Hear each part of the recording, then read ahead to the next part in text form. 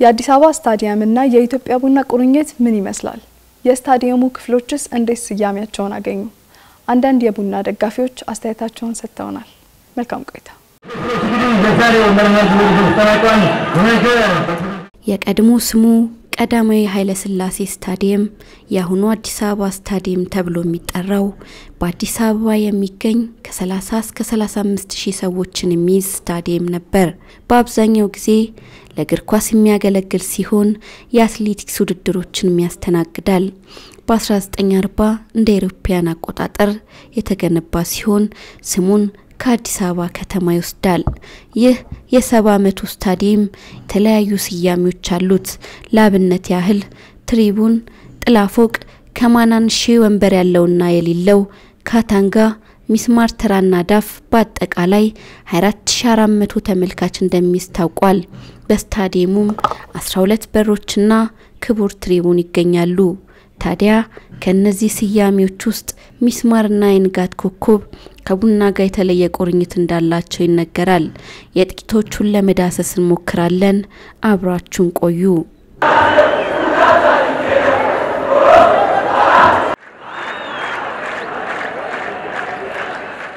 ክቡር ትሪቡን ጣሊያንኛ ነው ቃሉ።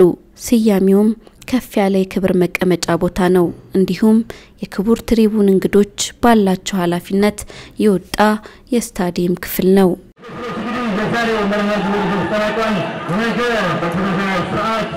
ከማናንሼ የተባለው በግምቴ ከማናንሼ ያው ከማንም አላንስም መሰለኝ። ከማናንሼ ያለ መቀመጫ ነው የሚባለው። መቀመጫ ስለሌለው ያለ መቀመጫ ከማናንሼ የሚባለው ከማናንሼ ባለ ወንበሩ የሚመስለኝ የጥላፎቅ እኛም አናንስም ከማለት መሰለኝ። ምክንያቱም ከማናንሼ ሁሉም ሰዎችን እንዲያሳትፍና ያለው ነገሮች ተካፍሎ ጨዋታውን ድምቀት ውበቱን አይቶ እንዲወጣ በወንበር ይባላል የቦታ ያው ከጥላፎቅ ጎን ስለሆነ ከማናንሼ ክብሩን ነው እንግዲህ የቦታውን ክብር ነው የሚመስለኝ። ከዛ ከትሪቡን አጠገብ ስለሆነ ጥላም ስላለው ያው ባለችው ማንም ሰው ባለችው የተሻለ ቦታ ይመርጣል። ስለዚህ ለዛ ነው እንትን የተባልኩት። ፋሲካ ከጥላፎቅ ቅርብ ስለሆነ ይመስለኛል። ምክንያቱም ጥላፎቅ ያው ለየት ያሉ ሰዎች ይገባል ማለት ዋጋውም ስለሚጨምር እኛ እስከማናንሳለን በሚል ነው የወጣለት ይመስላል። ከማናንሼ ወንበር ያለው የቀድሞ ስሙ ፋሲካ የሚባል በር ሲሆን የዚህ ስያሜ የመጣው ፋሲካ ዱባይ የሚባል የቅዱስ ጊዮርጊስ አንጋፋ ደጋፊ ነበር። ሙሉ ዘጠና ደቂቃውን ቆሞ ነበር የሚያየው። በዛ ምክንያት ይህ ስያሜ ሊሰጠው ችሏል። ሌላው ፋሲካ ዱባይ እግር ኳስ ሲመለከት ቁጭ ብሎ ማየት የማይችል ከአንዱ ጫፍ እስከ አንዱ ጫፍ በሩጫ የሚመለከት የተለያዩ ድርጊቶችን እያሳየ ህዝቡን የሚያዝናና አንዳንዴም ጨዋታውን እዚሁ ላሉት በድምፁ የሚያስተላልፍ አይረሴ ሰው ስለነበር ፋሲካ የሚለውን መጠሪያ አግኝቷል።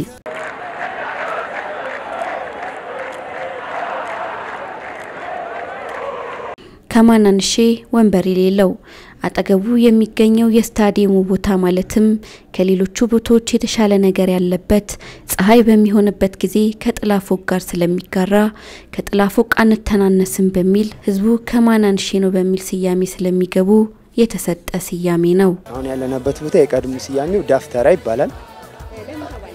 ዳፍተራ ይመስለኛል ሙሉ የስታዲየሙን ግንባታ ጨርሶ ካለቀ በኋላ በእያንዳንዱ ቦታ ስያሜ ስላለው የተሰጠው የዳፍተራ ስያሜ የስታዲየሙ የስታዲየሙ ስያሜ ይመስለኛል።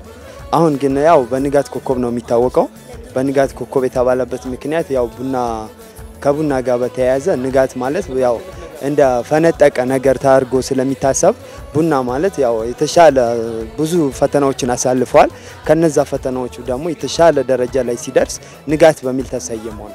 አነስተኛ ስለሆነ ወደዚህ መጣን እንጂ የጊዮርጊስ እንትን ቦታ ነበር። ይሄ ቦታ ፋሲካ ነበር የሚባለው። አሁን ግን በእኛ ስም ስያሜው የንጋት ኮከብ ብለን እኛ ተቆጣጥረነዋል፣ እኛ ይዘነዋል። ዳፍትራክ ለምን ዳፍትራክ እንደተባለ ታውቂያለሽ?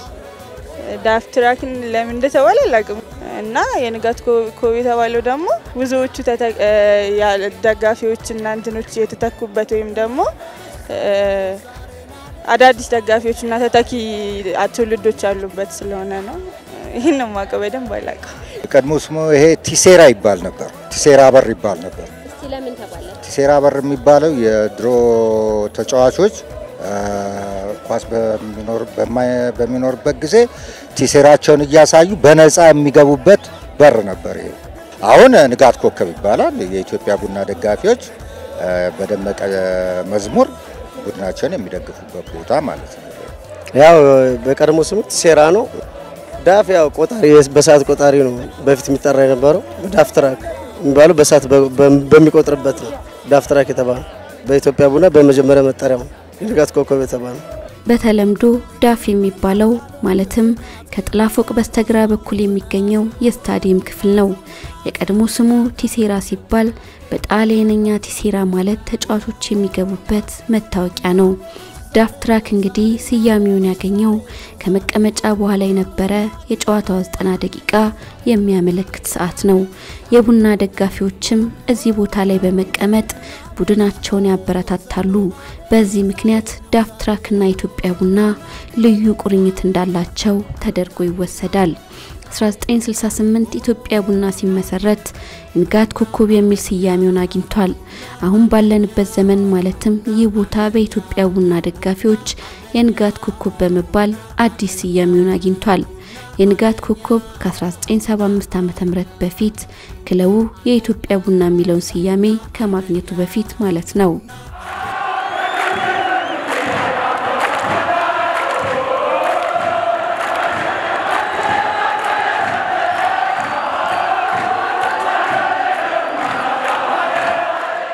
ይሄ የምንቀመጥበት ቦታ ካታንጋ ይባላል። በፊት እዚህ አካባቢ ላይ የበፊት ወታደሮች ይቀመጡበት ስለነበረ ለዛ ይመስለኛል ካታንጋ የተባለው። እንደሰማሁት ከሆነ አሁን ያለንበት ካታንጋ ይባላል። ግን የሚመስለኝ ድሮ ጦር ኃይሎች ምን በሚልበት የመጣ ሰዓት ከዛ አንጻር የመጣ የተሰየመ ስያሜ ነው የሚመስለኝ። ግን እርግጠኛ አይደለሁም በደንብ። ካታንጋ ነው የሚባለው። ለምን እንደተባለ ግን እኔም እንትኑ የለኝም። ለምን እንደተባለ እኔም አላውቅም። ግን ያው ካታንጋ ነው የሚባለው። ካታንጋ ደግሞ ያው የጥላፎቅ ተቃራኒ already የመሀሉ አካፋይ ማለት ነው። ካታንጋ ኦፊሴላዊ ስሙ በውል በማይታወቅና አንዴ አዲስ አበባ ሌላ ጊዜ ብሔራዊ ስታዲየም እየተባለ በሚጠራው የስፖርት አምባ ውስጥ ካታንጋ የተሰኘ ስፍራ ይገኛል። ካታንጋ ከትሪቡኑ ፊት ለፊት የሚገኝ የተመልካቾች መቀመጫ ክልል ነው። ካታንጋ ከ1947 ዓ.ም ጀምሮ በብርድና በፀሐይ በንፋስና ዝናብ የሚጠለሉበት ጥላ እንኳን ማግኘት አልቻለችም። ካታንጋ ስሟን ያገኘችው ከኮንጎ ግዛት ነው። ካታንጋ ከኮንጎ ለመገንጠል ይታገሉ በነበሩት ማይስ ቾምቤና በወቅቱ የኮንጎ ፕሬዝዳንት የነበሩት በፓትሪስ ለሙምባ መካከል ግጭት ተፈጥሮ አገሪቱ ተረብሻ ነበር። ኢትዮጵያም የተባበሩት መንግስታት ላቋቋመው collective security ኮንጎ የተሰኘው ሰላም አስከባሪ ጦር አንድ ብርጌድ ወታደሮቿን አበርክታ ነበር። ወታደሮቿ ግዳጃቸውን ጨርሰው ከተመለሱ በኋላ የእግር ኳስ ጨዋታን ለመመልከት ወደ ስታዲየሙ የሚገቡበት አሁን ካታንጋ እየተባለ ከሚጠራው ከክቡር ትሪቡኑ ፊት ለፊት የሚገኘው ስፍራ ነው። ከዚህ በኋላ ህዝቡ ቦታውን የካታንጋ ዘማቾች መቀመጫ ስፍራ የሚል መልእክት ለማስተላለፍ ካታንጋ የሚል መጠሪያ አመጣለት።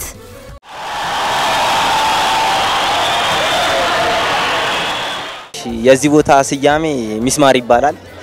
ያው ሚስማር እንደምታየው የፍቅር ቦታ ነው። የተለያዩ ብሔር፣ ዘር፣ ሃይማኖት ሳይከፋፍለን እዚህ ቦታ ላይ ተሰብስበን ኢትዮጵያ ቡናችንን ከንጋት ኮከብ ጀምሮ እየደገፍን እንገኛለን። በዛም ምክንያት ድባቡ ከሁሉም ቦታዎች የተለየ ስለሆነ ከንጋት ኮከብ ከካታንጋ ከጥላፎቅ ትንሽ ለየት ያለ ድባብ ስላለው እዚህ ጋር በሚጨፈርበት ጊዜ አይተሽ ከሆነ አዋሪ ይሆናል ደጋፊው በሚጨምርበት ሰዓት በዛም ምክንያት ያው የሚስማር ስያሜ ተሰጥቶታል። አሁን የምንገናኝ የምንገኝበት ቦታ ሚስማር ይባላል። ሚስማር ማለት ሁሉንም ፍቅር ሁሉን የቡና ደጋፊ ፍቅር ያለበት ሚስማር ነው። ደጋፊውም በጣም ብዙ ደጋፊ ያለው ሚስማር ማለት በጣም ፍቅር ያለበት ቦታ ነው።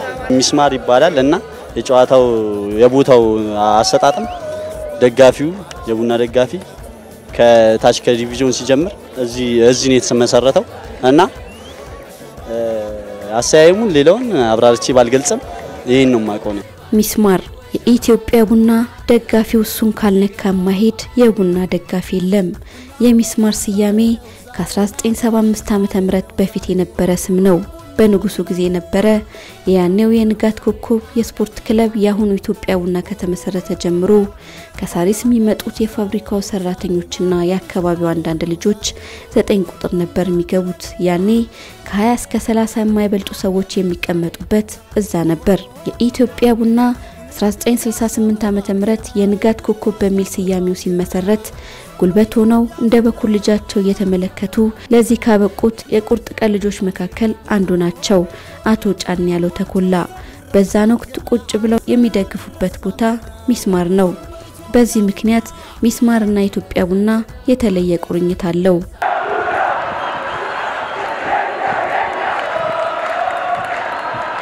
ከማናንሼ ባለ ወንበሩና ወንበር የሌለው የቀድሞ ስሙ አበበ ቢቂላ በር ይባል ነበር። ይህ ስያሜ ስታዲየሙ በአንደኛው መግቢያ በር የአበበ ቢቂላ የስፖርት እቃዎች መሸጫ መደብር በመኖሩ በዛ የተሰጠ ስያሜ ነው።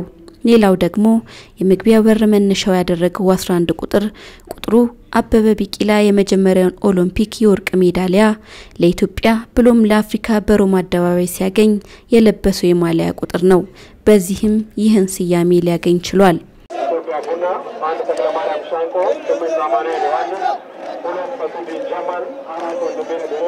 ውድ ቤተሰቦቻችን የአዲስ አበባ ስታዲየምን ስያሜ ከክለባችን ጋር ያላቸውን ቁርኝት ታሪካዊ ዳራቸውን በፕሮግራማችን ለመዳሰስ ሞክረናል። ውድ ቤተሰቦቻችን የአዲስ አበባ ስታዲየምን ስያሜ ከክለባችን ጋር ያላቸውን ቁርኝት ታሪካዊ ዳራቸውን በፕሮግራማችን ለመዳሰስ ሞክረናል። የአዲስ አበባ ስታዲየም ድምቀት የሆኑ የኢትዮጵያ ቡና ደጋፊዎች በሁሉም በሮችና ስፍራዎች በመገኘት ቡድናቸውን ያለመታከት ይደግፋሉ፣ ለክለባቸውም ዋጋ ይከፍላሉ። የአዲስ አበባ ስታዲየምና የኢትዮጵያ ቡና ደጋፊዎች ቁርኝትም ይቀጥላል።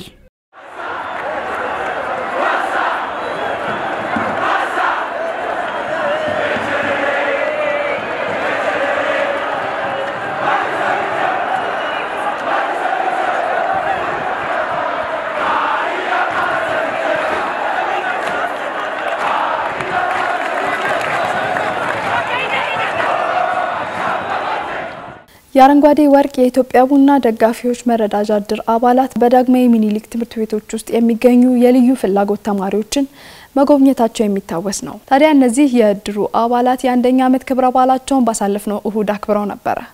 ለተማሪዎቹ ቃል በገቡት መሰረትም ለመማሪያነት የሚያስፈልጓቸውን ግብአቶች ለትምህርት ቤቶቹ ተወካዮች አስረክበዋል። ቀጣዩ ዝግጅታችን ነው።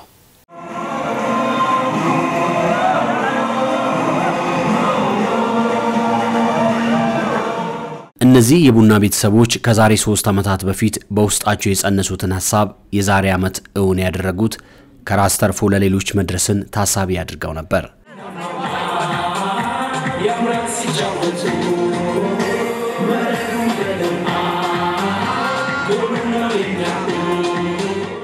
በተለይ አካል ጉዳተኞችንና ልዩ ፍላጎት ያላቸውን ወገኖች ትኩረት አድርገው መስራት አንድም በህብረተሰቡ ዘንድ ያለውን የተዛባ አመለካከት ለማረም፣ ሁለትም እነዚህ ወገኖች ያላቸውን እምቅ አቅም አውጥተው እንዲጠቀሙ ለማድረግ ነው። ቢጎዳ መስራት አይቅተኝም ማየት የተሳነው ብለው ቢያወሩብኝ እኔ ግን ጠንካራ መማር እንችላለን፣ መስራት እንችላለን፣ መማር እንችላለን፣ መስራት እንችላለን። እነዚህን የተመለከታችኋቸው ዜጎች ዜጎች ናቸው። ማንም ሰው አካል ጉዳተኛ ሆኜ ልወለድ ብሎ ፍቃድ አይጠይቅም። ማንም እናት አካል ጉዳተኛ ልጅ ልውለድ ብላ አይደለም የምትወልደው። እንዲያውም ልጆቿ ከሁሉም በላይ እንዲሆኑላት ትፈልጋለች። ማንም እናት። እነዚህ ልጆች ደግሞ ጉዳተኞች አይደሉም። ጉዳት ማለት ያስተሳሰብ ጉዳት ነው። ያላቸውን ጎደሎ ከሞላንላቸው እነዚህ ልጆች ያለውን ጎደሎ ከሞላን ከማንም በላይ ሊሆኑ ይችላሉ። የሰው ልጆች ወደዚች ምድር ላይ ስንመጣ የምንም አይነት ችግር አለ ተብሎ አይፈጠርም። ማንም የትም ፈልጎ አልተወለደም። አካል ጉዳት ወይም አይነ ስውርነት ችግር አይደለም። ዋናው የህብረተሰብ እንክብካቤ ነው ያስፈልገው። እንክብካቤው ከህብረተሰቡ ከአካባቢው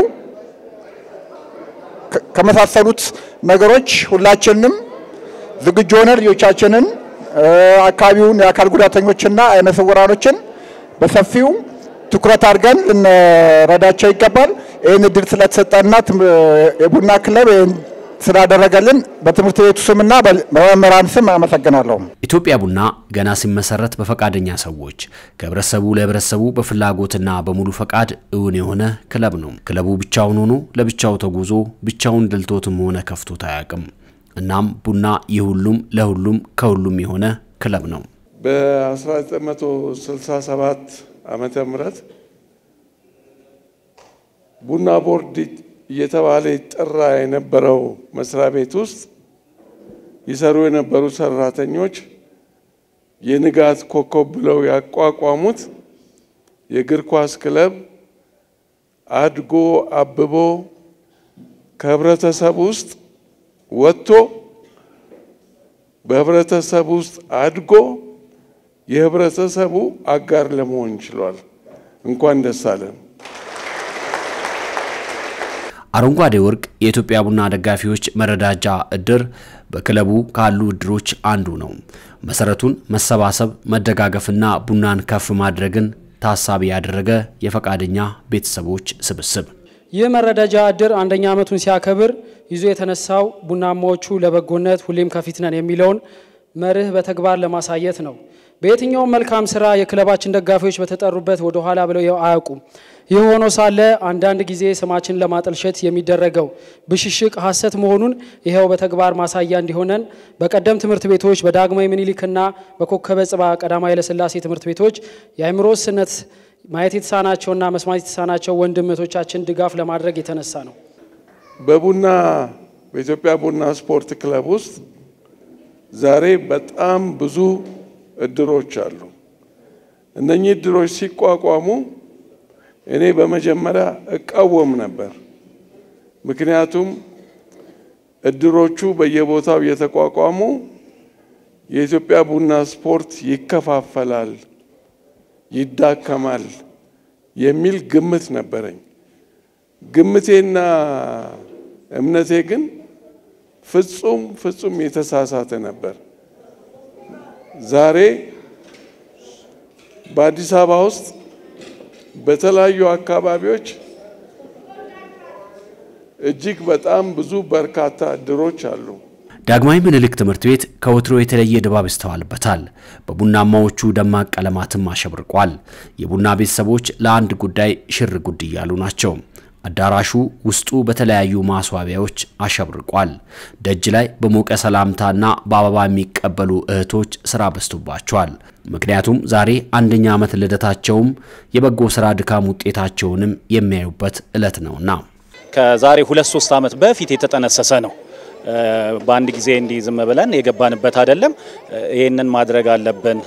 እነዚህም በጎ ነገሮች መስራት አለበት። በኢትዮጵያ ቡና በስፖርታዊ ጨዋነት፣ በሁሉም ነገር እርስ በርስ ወንድማማችነት፣ ቤተሰባዊነት ትስስራችንን ሊጨምርልን የሚችሉት እንደነዚህ ከኛ በፊት የነበሩ ብዙ እድሮችና በየሰፈሩ ብዙ ማህበራቶች አሉና እነሱን ተገን በማድረግ የበለጠ ደግሞ እኛ ለሌሎቹም ለደጋፊዎቻችንም አንድ ላይ እነሱን አስተባብረን ወንድም ቤተሰባዊ ትስስራችንን ለመፍጠር ታስቦ የተመሰረተ ነው። ከዛ ደግሞ አልፈን እንደዚህ በኢትዮጵያ ቡና ውስጥ ተጫውተው ያለፉ ኢትዮጵያን ቡና ለረጅም ዓመታት እየደገፉ ከዛም አልፎ ደግሞ ለኢትዮጵያ ቡና በየክልሉ ደጋፊዎቻችንን እያስተባበሩ በመኪና በሌሊት ጉዞ እንደዚህ የሚሄዱትን ልጆች ይሄ እድርን መስርተን እነሱን የማመስገን የምስጋና እድራችን ላይ ደግሞ የክብር አባል የማድረግ ነው አላማችን የነበረውና ከሁለት ከሶስት ዓመት በፊት የተጠነሰሰ ነው።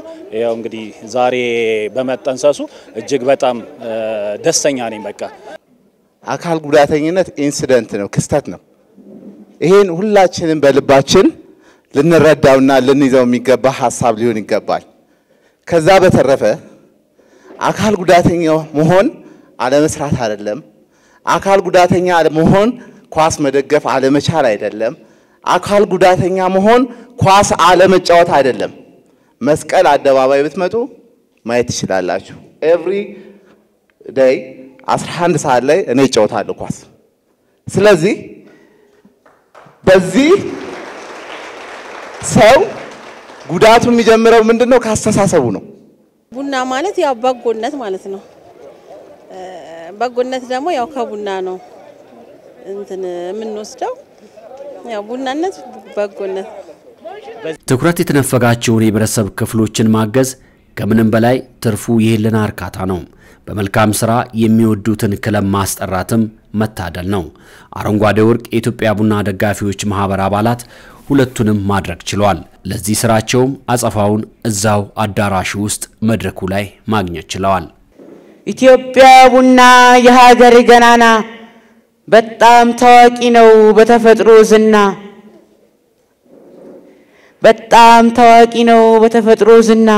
የካምቦሎጆ ድምቀት የሸገር ተምሳሌት የደጋፊ ውበት ያስቀናል በእውነት። ተምሰግሳቂው ክለብ የክለቦች አውራ በኮከብ ተደምቆ ደምቆ እንደ ጮራ። ጥበብን ከእግር ኳስ ፍቅርን ከባንዲራ በፍቅር በስብሶ በምስኪኖች ጎራ ሰላም ለሀገሬ ለወገኔ ስራ እያለ ተጓዘ አርማው እያበራ። ዘውዱን ጨበጡት የቡንዬ ልጆች። የኢትዮጵያ መኩሪያ ድንቅ ከዋክብቶች። እንቁ ምንዛሬ የሀገራችን ሀብቶች። ሰላም የለበሱ ወገን ደጋፊዎች። ደረሱልን ዛሬ ሰላማዊ እርግቦች። ቡና ስሜቴ የዘላለም ቤቴ ቡናን ስንደግፈው ተዋደን ተፋቅረን ክፉን ትተን ደጋጉን መርጠን ስናሸንፍ ደምቀን ስንሸነፍ ችለን መተኪያ የሌለን እኛ ቡናዎች ነን። አምሳ ሎሚ ለአንድ ሰው ሸክም ለአምሳ ሰው ሽታ ነውና ችግሮችን ከተባበርን በቀላሉ የሚፈቱ ናቸው። ሰዎችን የማስተባበርን ኃላፊነት የወሰዱ መልካም አርአያ በመሆን ለመልካምነት መስራትም ዋጋው ከፍ ያለ ነው። እኛ ኢትዮጵያ ቡና ጋር ስትመጣ የትኛውም አካል ጉዳተኛ የሌለበት የለም። ብዙ ማየት የተሳናቸው ልጆች አሉ፣ ኢትዮጵያን ቡና የሚደግፉ መስማት የተሳናቸው ልጆች አሉ፣ በምልክት እያሳዩ እኔ ስቴዲየም ጥላ ፎቅ ለረጅም ጊዜ እንደመቀመጤ እዛ ላይ ሲገቡ ምናያቸው ተነስተው መናገር ሳይችሉ ግን አይተው እንዴት ብለው ደስታቸውን እንደሚገልጹ አካል ጉዳተኞች ሆነው በዊልቸር በየክልሉ እኛ ሙሉ ጤነኞች ነን ብለን ብንልም እነሱ ግን የአይምሮ ሙሉ ጤንነት ሆነው አካላቸው ቢጎልም በየክልሉ ኢትዮጵያን ቡና ብለው የሚንከራተቱና የሚሄዱ ስላለ እነሱን ለምንድን ነው ለምን አንረዳቸውም? በቃ እነሱን ባንረዳ even በእነሱ አማካኝነት ሌሎቹ መስራት ማድረግ እንደሚችሉ በውስጣችን ስላመነ በዚህ ነው ይህን ትኩረት አድርገን እነሱ ላይ እንዲህ ብናደርግ ብለን የተነሳ ነውና ትልቁ ዓላማችን ኢትዮጵያ ቡናን ከፍ ማድረግ ነው። ያሰብነው ነገር ያው ከሞላ ጎደል የተወሰነው በደንብ ተሳክቶልናል ብለን እናስባለን። ያው ከዚህ የበለጠም ለማድረግ ሀሳብ ነበረን። አሁን ባለው ነገር ግን በጣም ደስተኛ ነን። ቡና ክለብ ብቻ ሳይሆን ሀገር ነው። ቡና ውስጥ ሁሉም አይነት ሰው አለ። አካል ጉዳተኛም ሆነ ጉዳት አልባው በቡና ውስጥ እኩል ነው። እኩል ዋጋና እኩል ስፍራም አላቸው። ስለ ቡድኑ ስኬት፣ ስለ ሀገሩ ሰላምና አንድነት ሁሌም ይተጋል። እኩይ ስራን በመልካም ተክቶ የተመቸች ሀገር እንድትኖርም ይሰራልም ይመኛልም።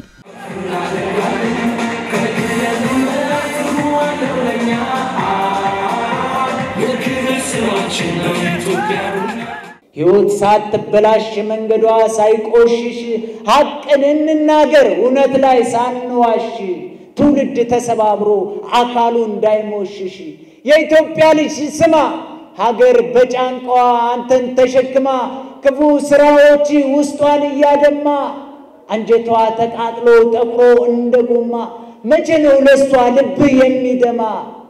በሀገር ፍቅር ከብረ ቀስተ ደመናውን ባንዲራዋን ለብሰ የምትላት እማ እማ እማማ።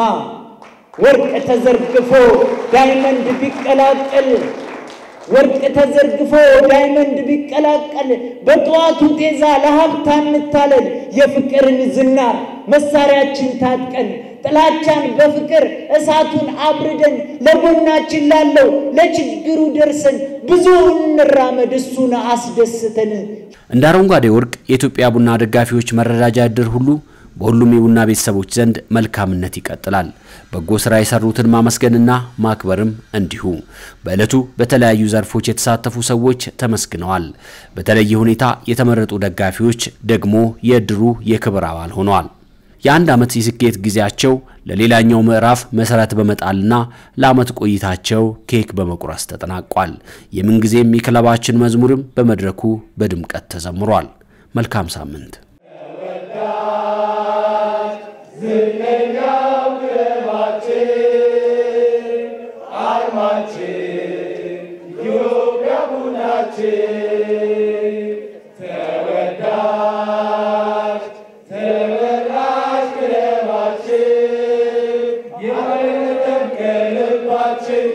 ኢትዮጵያ ቡናችን ጨዋታ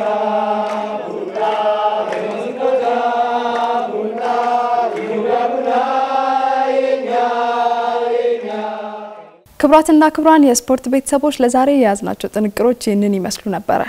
ፕሮግራም በመምራት እኔ ህይወት አበበ አብራችሁ ቆይታ አድርጌያለሁኝ።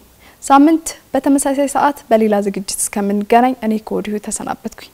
መልካም ሳምንት